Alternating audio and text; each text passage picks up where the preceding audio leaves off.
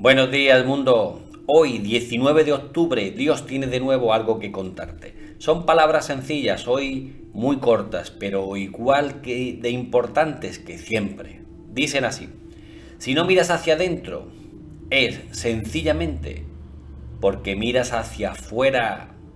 Meditas muy bien estas palabras. Cuídate mucho como siempre. Recuerda suscribirte y activar la campanita si quieres que te lleguen las notificaciones del canal. Y nos vemos por aquí o físicamente cuando quieras. ¡Feliz día!